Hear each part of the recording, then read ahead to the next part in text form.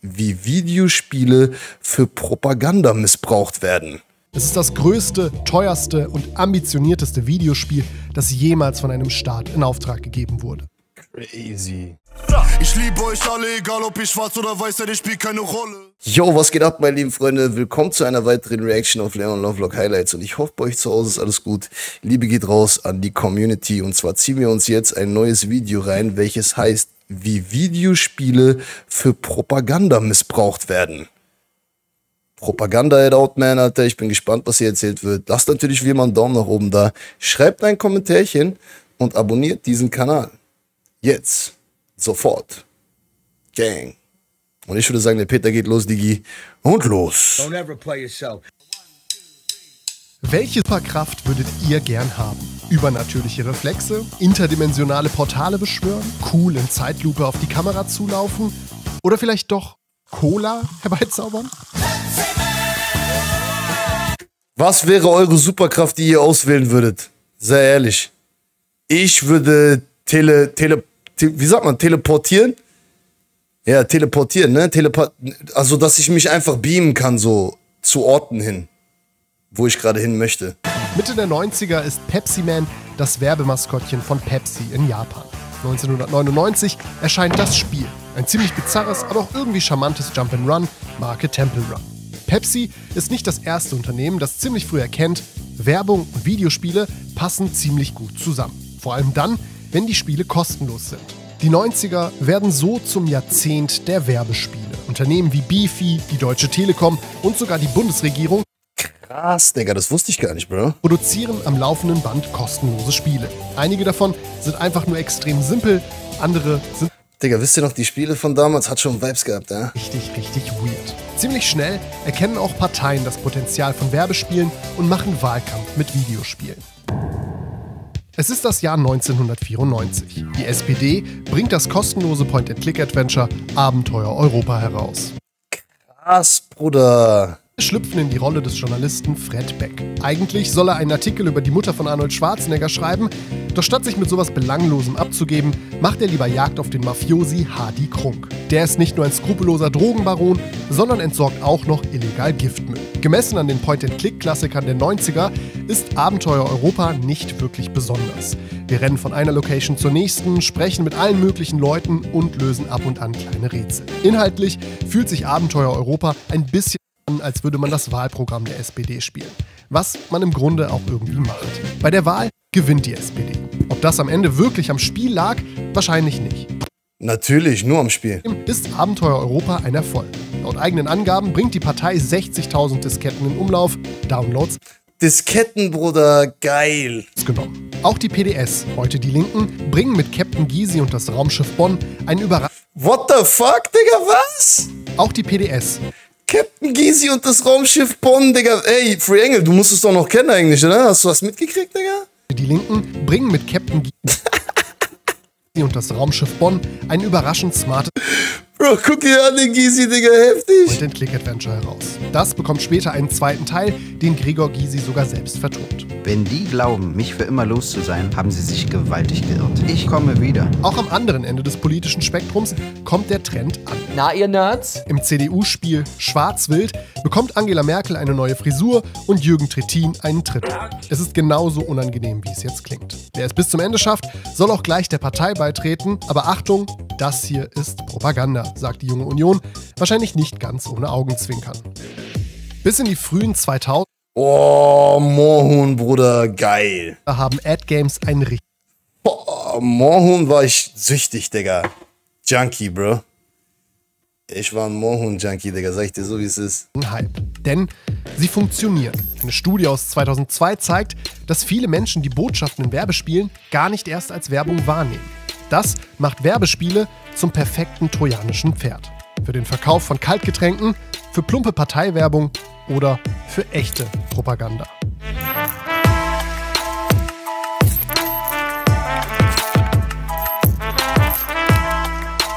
Schon krass, ne?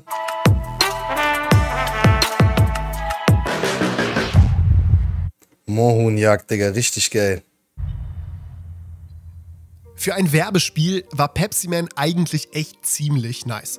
Leider kann man das von den meisten Softdrinks nicht wirklich sagen. Die sind oft extrem ungesund, haben viel zu viel Zucker und produzieren auch noch. Digga, hab voll Bock, Mohun zu spielen jetzt, Digga. Kann man das noch, kann man das noch runterladen, Digga? Mohun Shooter, jetzt kostenlos online spielen.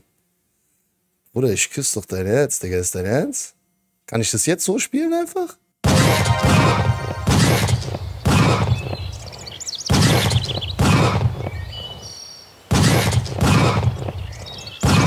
Bro, wir sind drin.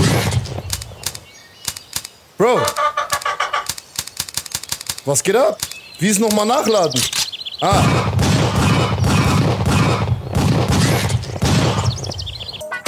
Uh. 39, Digga. Ich küsse dein Herz, Bro. Ich weiß, was ich heute Nacht durchziehe. Ich küsse euer Herz. Es ist das Jahr 2004. In den USA erkennen die Republikaner als allererstes das politische Potenzial von Videospielen. Die Demokraten entdecken 2008 Videospiele für sich. Barack Obama schaltet als allererster in-game Wahlwerbung. Erst in Burnout Paradise, dann in 17 weiteren Spielen. Egal ob Krass. in den USA, in Frankreich, in Großbritannien, in Tschechien oder sogar in Deutschland, Wahlkampfwerbung wie diese sind streng genommen auch schon Propaganda. Sogenannte weiße Propaganda. Weiße Propaganda ist transparent. Die Informationen sind akkurat oder Das ist aber jetzt rassistisch, ne? Warum ist das jetzt weiße Propaganda? ist leicht nachprüfbar. Dass die SPD hinter Abenteuer Europa steckt, ist kein Geheimnis und dass das Spiel Wahlwerbung macht, auch nicht. Schwarze Propaganda ist das genaue Gegenteil. Der Urheber wird bewusst verschleiert, die wahre Absicht bleibt im Dunkeln Das ist auch wieder krass, ne? Weiß ist gut, schwarz ist schlecht. Bei vielen Sachen. Wer das wohl erfunden hat? Es werden irreführende oder falsche Informationen verbreitet. Als 2023 Atomic Heart rauskommt, wird dem Spiel vorgeworfen, genau so eine schwarze Propaganda zu betreiben. Entwickler Mantfish hätte heimlich Verbindungen nach Russland, die Investoren des Spiels würden den Krieg gegen die Ukraine unterstützen und Daten würden insgeheim an russische Behörden weitergeleitet. Endgültig bewiesen ist das nicht. Und dann gibt es aber noch graue Propaganda. In diesem Bereich fallen Spiele, bei denen vielleicht klar ist, wer sie verbreitet, aber nicht warum. Spiele, die auf den ersten Blick neutral und realistisch wirken, aber in Wirklichkeit Lügen verbreiten. Spiele, die vorgeben, in erster Linie zu unterhalten, aber eigentlich viel gefährlichere Ziele haben. Oh, Digga, das war Ding, glaube ich, ne? Wie hieß das Spiel nur? War das Black Hawk Down? Ja, Digga, da gab's doch den Film Black Hawk Down, da gab's doch ein Spiel zu. Das war schon wild, ja? Das war schon wild, sag ich dir so, wie es ist. Ähm, aber bei diesen Kriegsspielen und so safe Propaganda drin, genauso wie bei den Kriegsfilmen. 1993 will die deutsche Bundeswehr das erste Mal junge Gamer erreichen. Das versucht sie mit Helicopter Mission, einem Spiel, in dem wir als Hubschrauberpilot Rettungsmissionen fliegen müssen. Damit sich auch wirklich alle angesprochen fühlen, dürfen wir uns im Spiel sogar für eine weibliche Pilotin entscheiden. Nur damit uns das Spiel kurz danach sagt, dass Frauen leider nicht fliegen dürfen. Heute fischt die Bundeswehr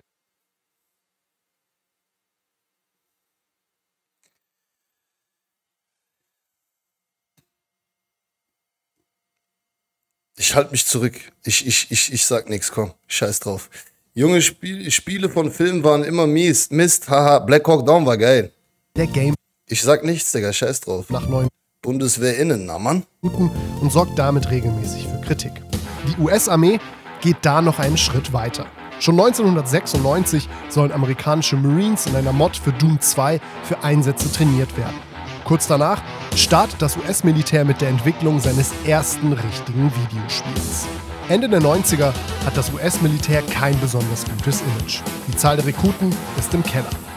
Ich meine, ey, ich kann, ich kann meinen Mund nicht halten. Ich, ich, ich sag dir ehrlich, ne? Ähm, Frauen haben da eh nichts verloren. In der Bundeswehr.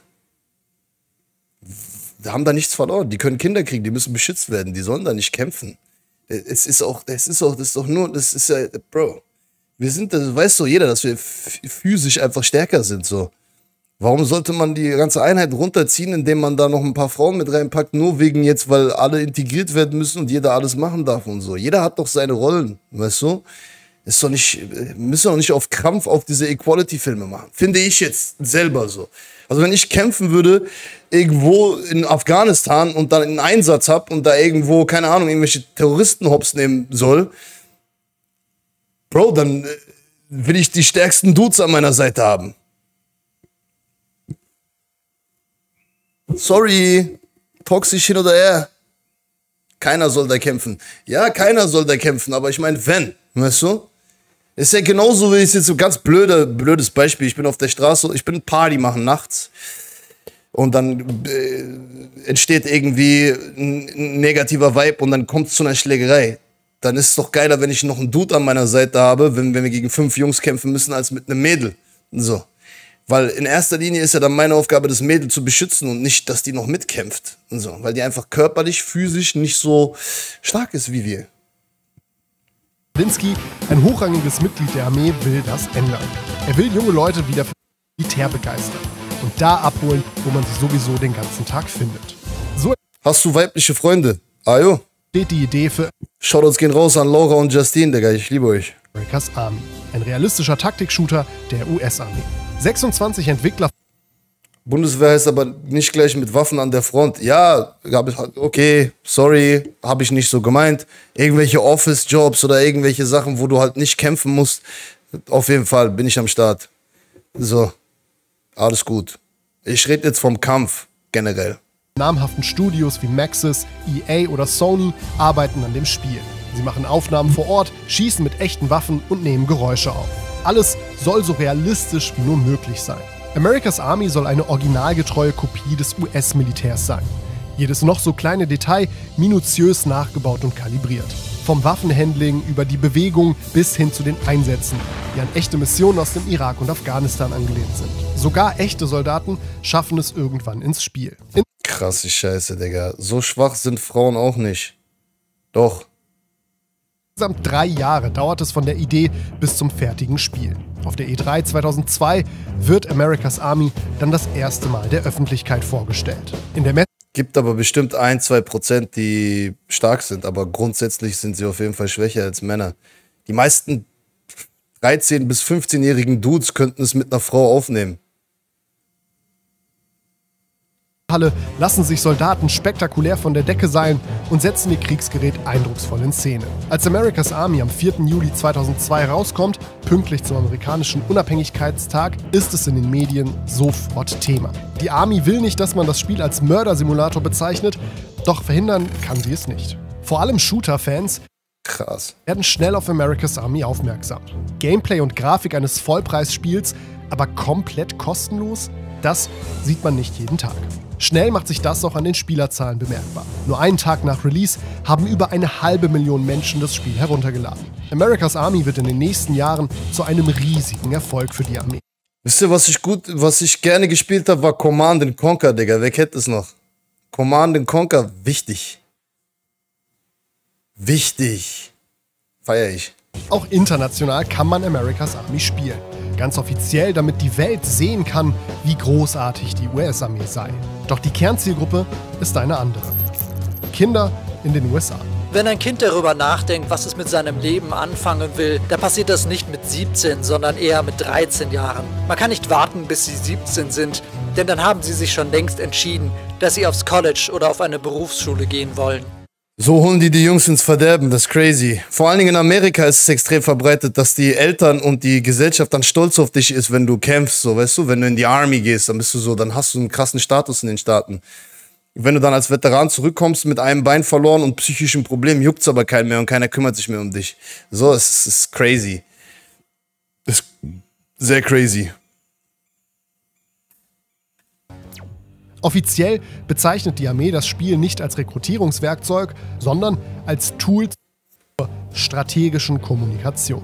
Zur Rekrutierung wird das Spiel aber trotzdem benutzt. Damit sich Jugendliche aber nicht gelangweilt vom Spiel abwenden, musste America's Army sich richtig gut spielen.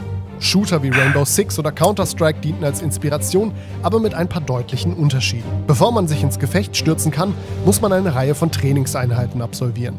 Von einfachem Waffentraining bis zur Sanitätsausbildung. Nur wer die besteht, qualifiziert sich auch für den Multiplayer. Damit Spieler möglichst im Team arbeiten, gibt es statt dem klassischen Deathmatch Missionsziele. Dazu gehört es, Gefangene zu befreien, Waffenlager zu finden oder einfach nur feindliche Basen zu infiltrieren. Das Besondere ist, dass egal in welchem Team man landet, man selbst immer als US-Soldaten spielt und die Gegenseite immer als Feinde sieht. Wer Missionen erfolgreich abschließt und sich dabei an den Wertekatalog der Army hält, bekommt Ehrepunkte. Und wer seine Teamkameraden mutwillig verletzt, landet sogar direkt im Ingame-Knast.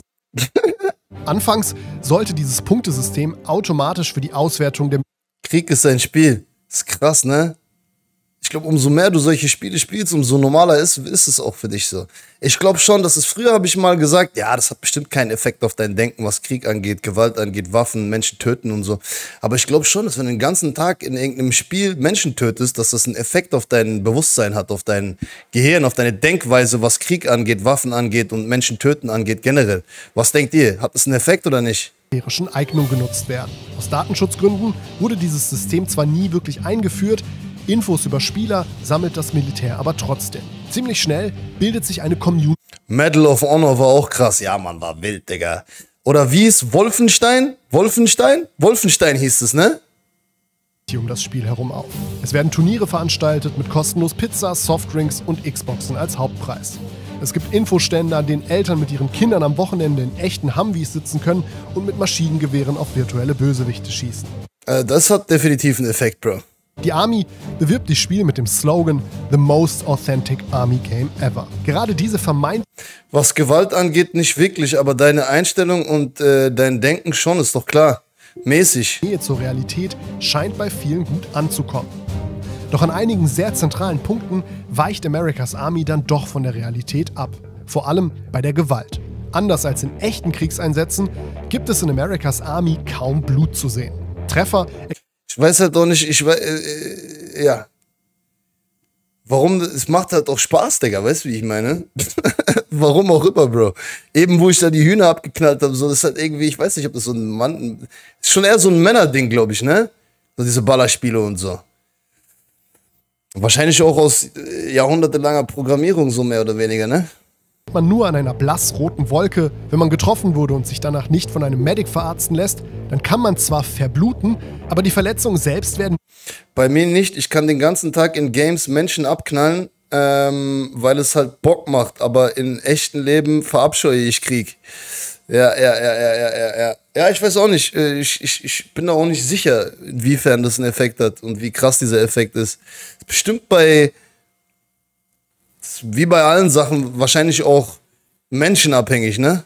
Mal angedeutet. Kein Keuchen, kein Humpeln, kein roter Bildrand, nichts.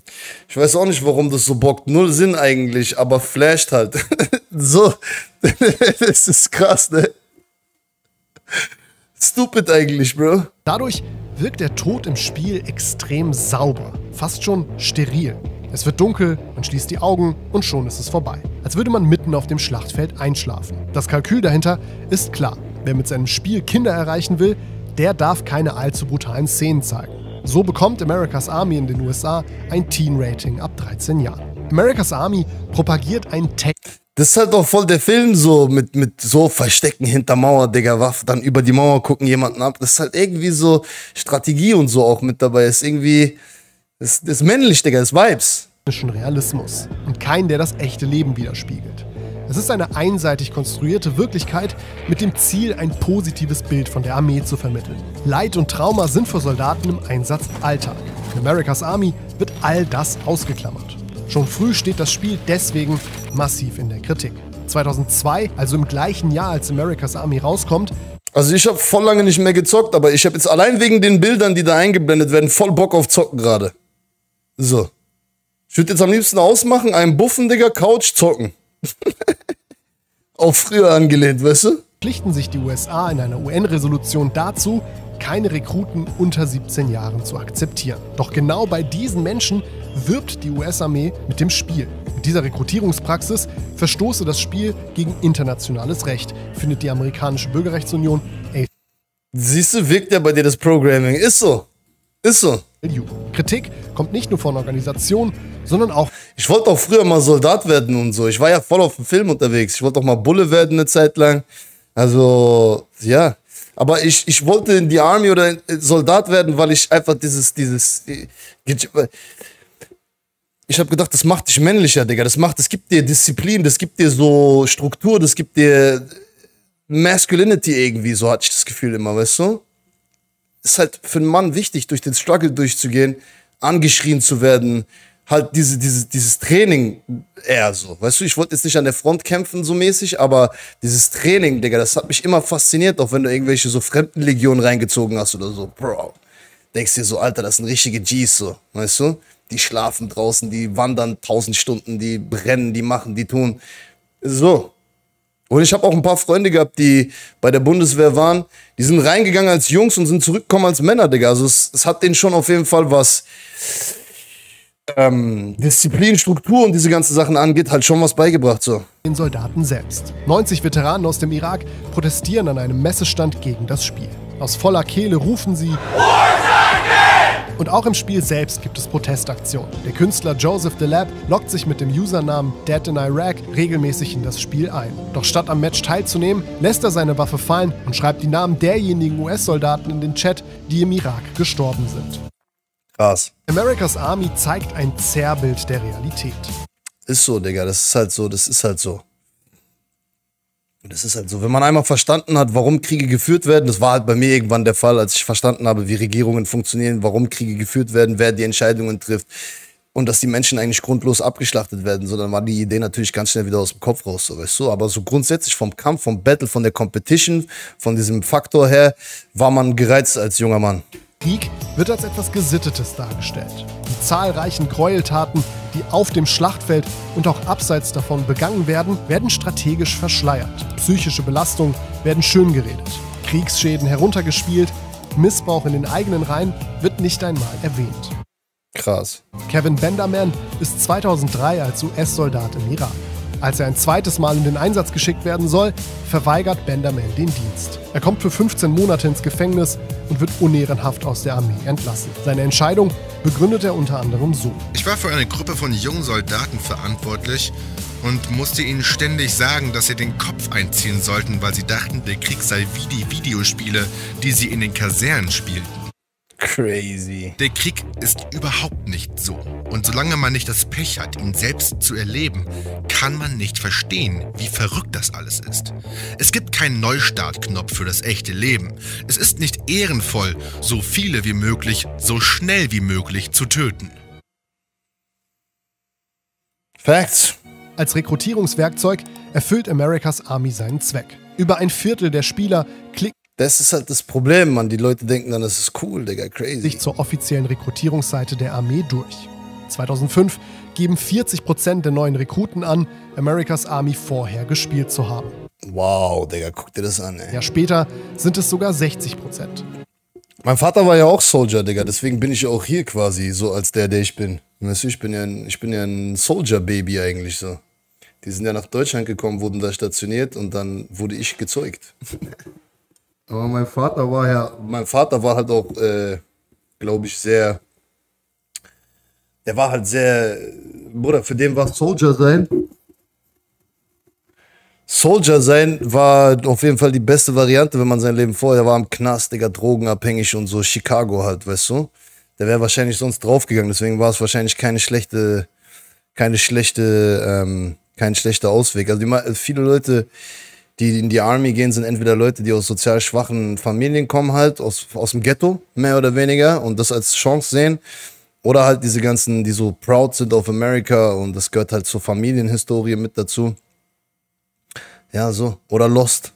109 Rekruten sagen vier, dass sie sich vor allem wegen des Spiels zum Wehrdienst verpflichtet hätten. America's Army ist Teil einer langen Liste von Versuchen, gezielt junge Gamer zu Soldaten heranzuzüchten. Und das mit Erfolg. Ich habe mich gefühlt wie in einem Videospiel. Das hat mich nicht einmal aus Ich glaube, mein Vater war auch im Irak oder in Afghanistan. Ich weiß gar nicht genau. Fassung gebracht, zurückzuschießen. Es war einfach ein natürlicher Instinkt. Alles, was ich gesehen habe, war die Straße, aus der die Panzerfaust kam, und ich feuerte einfach in diese Richtung. Und es hat sich angefühlt, als würde ich zu Hause Ghost Recon spielen. Natürlich ist das kein Spiel. Das Gefühl einer echten Waffe ist ein größerer Adrenalinkick als am Controller, aber man tut praktisch dasselbe. What the fuck? Versuchen, die andere Person zu töten.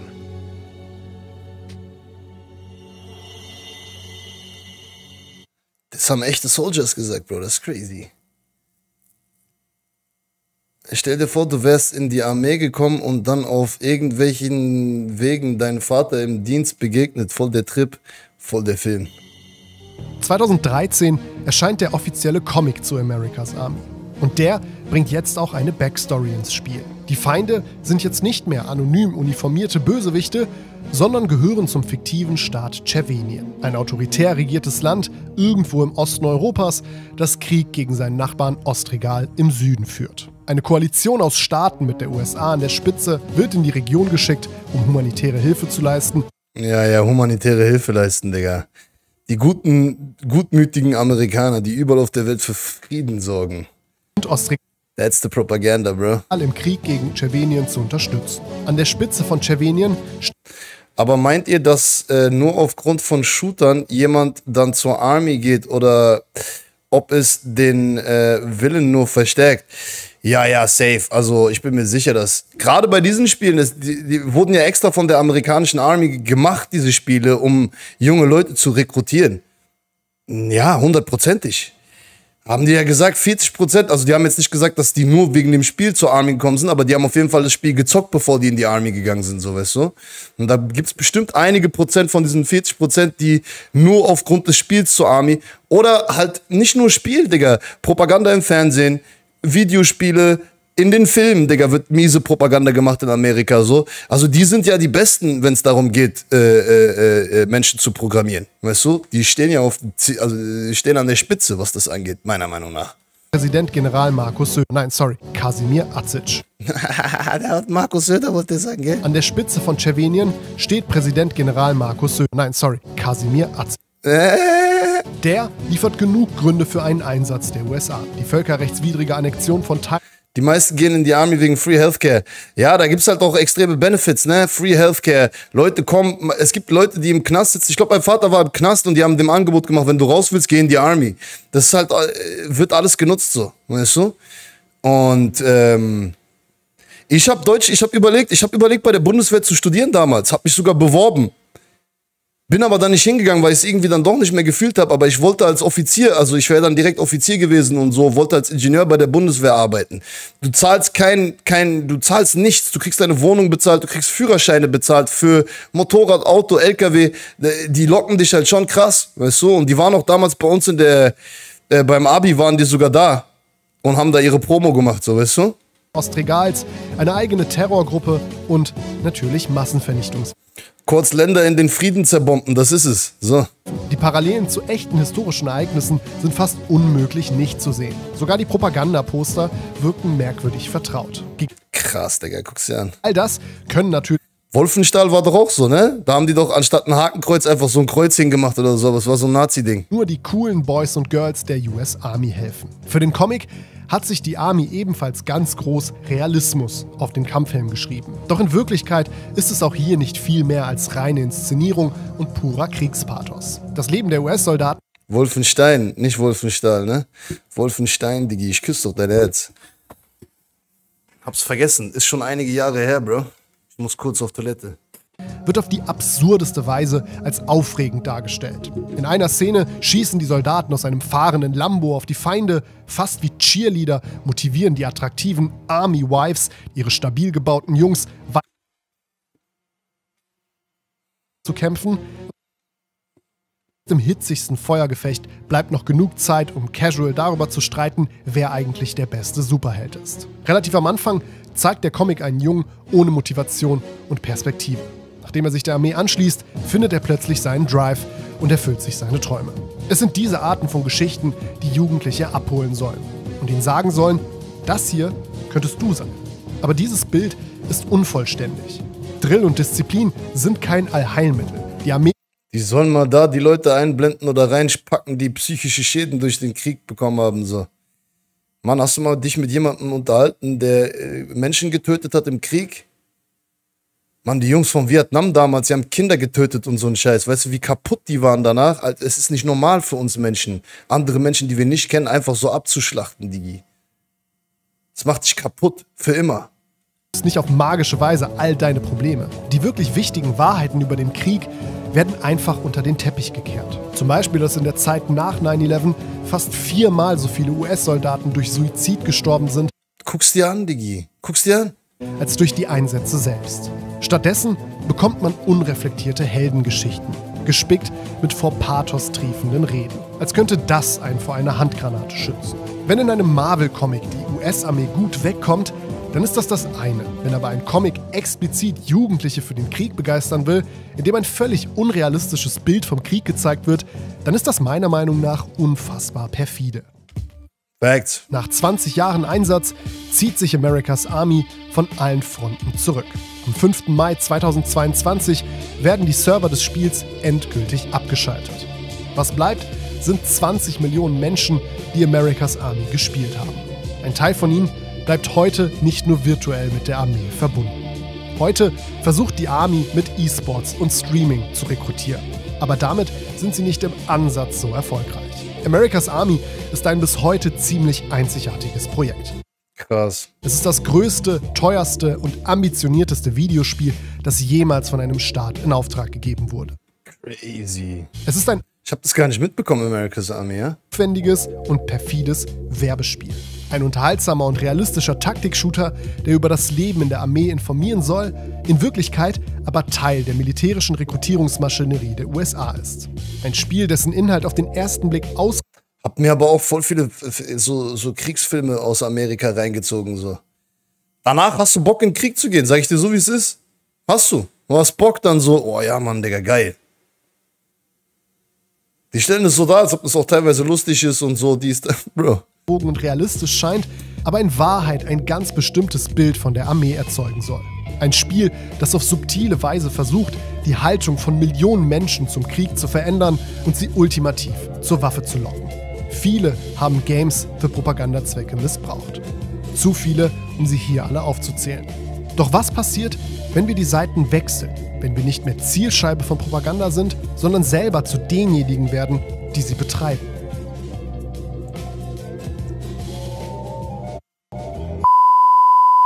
Genau diese Frage behandelt der Propagandasimulator Not for Broadcast. Wir sitzen in der Regie der National Nightly News, einer Nachrichtensendung in einer fiktiven Version des Vereinigten Königreichs. Mit diesem Job tragen wir ganz schön viel Verantwortung. Wir steuern Kameras, spielen im richtigen Moment die Werbung ab und zensieren ab und an Schimpfworte von Live-Gästen. This microphone package just given me electric shock. Was erzählt der hier I, I gerade? don't know.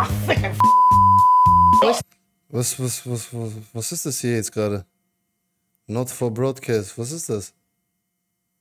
On the air, Peter. Oh, yes, uh, sorry, sorry, my apologies. Damit wir unseren Job möglichst lange behalten, muss unsere Sendung fehlerfrei über den Äther laufen. Das ist nicht immer so einfach, vor allem dann nicht, wenn uns das defekte Mischpult einen Stromschlag verpasst, Störenfriede nackt durchs Bild Ah, das ist ein Game.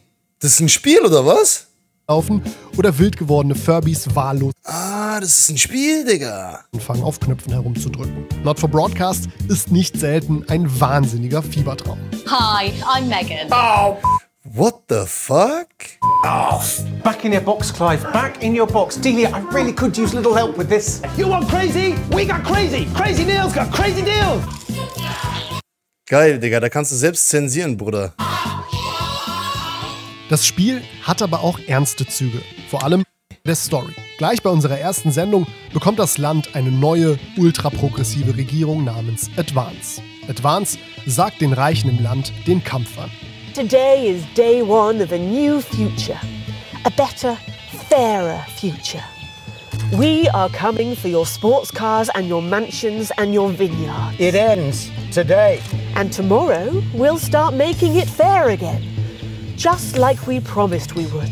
In den nächsten knapp 2600 Tagen bekommen wir live mit, wie aus der extrem linken Regierung ein waschechter Unrechtsstaat wird. Advance will für Krass, so antikommunistischer Film, Digga, heftig. mehr Gerechtigkeit im Land sorgen. Doch mit jedem Tag, der vergeht, büßt das Land an Freiheit ein. Und das wirkt sich auch auf den Sender und unser Privatleben aus. Immer mehr entwickeln sich die altehrwürdigen National Nightly News zu einem banalen Unterhaltungsprogramm. Und wir müssen entscheiden, ob wir die staatliche Propaganda mitgehen oder uns dagegen wehren. Denn Wow, was ist das für ein Spiel, yo? wir können auch den wachsenden Widerstand im Land unterstützen. Und zwar, indem wir Propaganda für die Gegenseite machen.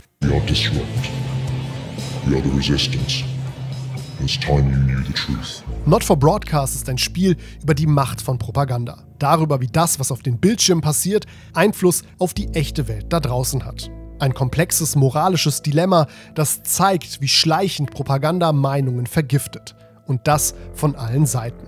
Not for Eigentlich ein nicht schlechtes Spiel, oder? Sag ich dir ehrlich. Broadcast ist ein klarer Appell gegen jede Form von politischem Extremismus. Das ist aber gar nicht unbedingt die wichtigste Botschaft, sondern wie schnell man selber Teil der Propagandamaschine werden kann. Allein schon aus purer Unachtsamkeit.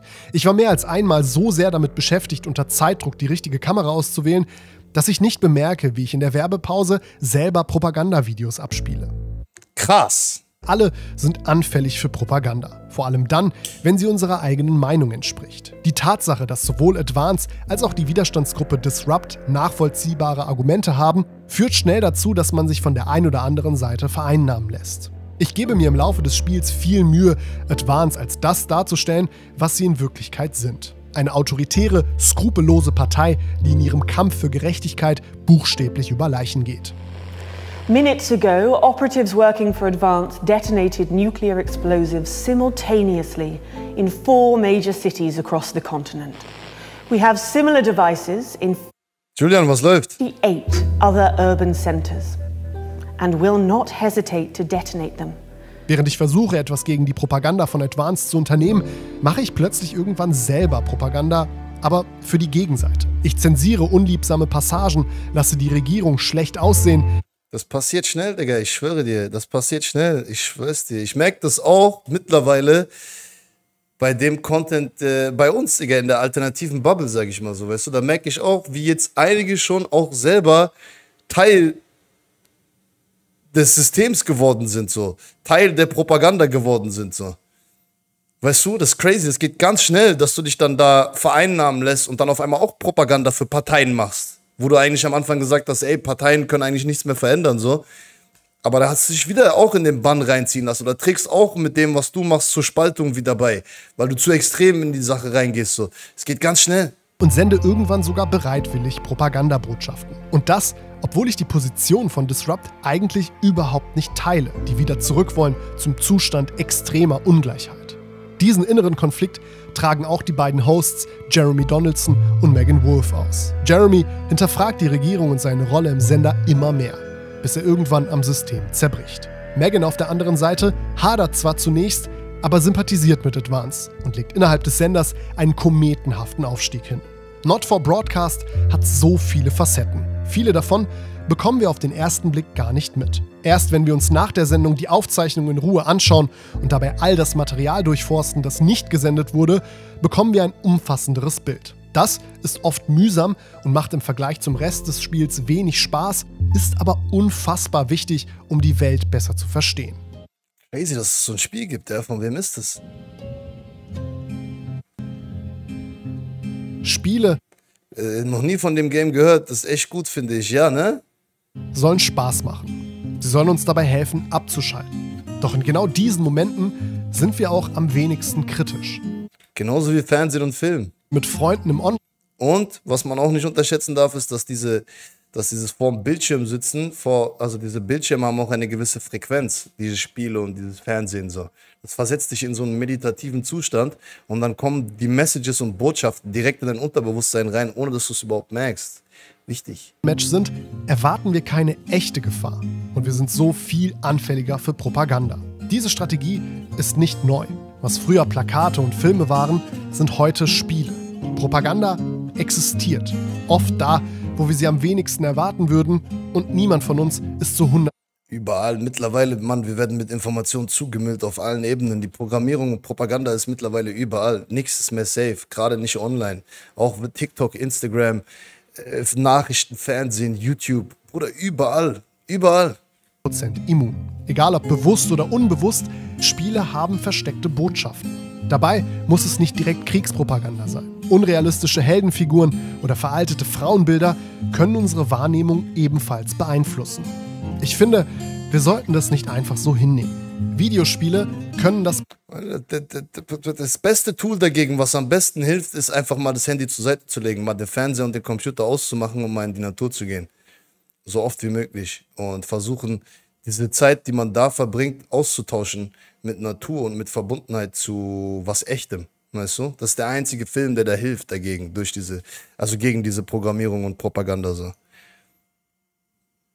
perfekte trojanische Pferd sein. Gerade wenn der Gaul geschenkt ist, sollten wir ihm lieber etwas genauer ins Maul schauen. Selbst wenn man weiß, was abgeht, wird man immer noch unterbewusst programmiert, wenn man nicht aufpasst. Das ist so crazy. Wir werden alle programmiert, Bro. Immer, jeden Tag. Ähm, umso bewusster du wirst, umso mehr wird dir das bewusst, aber wir werden immer programmiert. Und ja, der erste Schritt ist halt, sich dessen bewusst zu werden. Und dann kannst du halt auch dagegen was tun. Weißt du? Du kannst halt die Sachen dann nicht mehr dir reinziehen. Ne? Du kannst halt anfangen, bewusst dich rauszuziehen aus diesem ganzen Shit und dich programmieren zu lassen von Sachen, die du fühlst. So. Und das ist halt nicht einfach, wenn du gerade, wie wir halt bei mir, ich merke es an meinem eigenen Beispiel, ich bin ja auf eine gewisse Art und Weise aufgewachsen. Ich habe mir gewisse Sachen reingezogen, ich habe gewisse Sachen gemacht, die sind normal für mich geworden. Das aufzugeben, in Anführungszeichen, loszulassen und äh, andere Sachen dir anzugucken oder anzuhören, wo du auf einmal merkst, ey, das, das, aber das Catch, das, das, das, wie soll ich sagen, Digga, das gibt dir nicht mehr diesen selben Effekt, weißt du? Das gibt dir nicht mehr diesen selben, diese selbe Befriedigung, die du bekommen hast von den anderen Sachen, die du dir reingezogen hast, so. Und das trotzdem weiterhin durchzuziehen und dich selbst neu zu programmieren und zu verändern, ist halt mit Disziplin verbunden. Wer weiß, was sich sonst darin versteckt. Es gibt noch so, so viele andere Propagandaspiele. Und wahrscheinlich ist es sogar besser, dass die meisten Spiele eher nicht kennen. Trotzdem würde ich gern mit euch darüber reden. Und damit ich ein gutes Gewissen habe und ihr gleichzeitig diesen Teil meiner Recherche sehen könnt, der es nicht in das Video geschafft hat, gibt es zu diesem Video ein exklusives Bonusvideo und das findet ihr ab sofort auf Patreon. Patreon ist der beste Weg, um. Ich küsse dein Patreon-Herz, Digga. Ich muss auch mal Patreon machen, ich schwör's dir.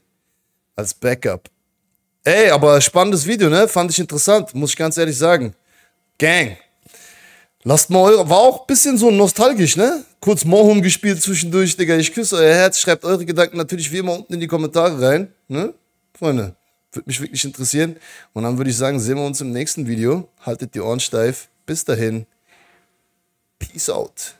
Gang.